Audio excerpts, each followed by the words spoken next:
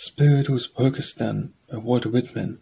Spirit whose work is done, spirit of dreadful hours, are departing, fade from my eyes your forests of bayonets, spirit of gloomiest fears and doubts, yet onward ever unfaltering pressing, spirit of many a solemn day and many a savage scene, electric spirit, that of muttering voice with a war now closed, like a tireless phantom flitted, rousing the land with breath of flame, while you beat and beat the drum.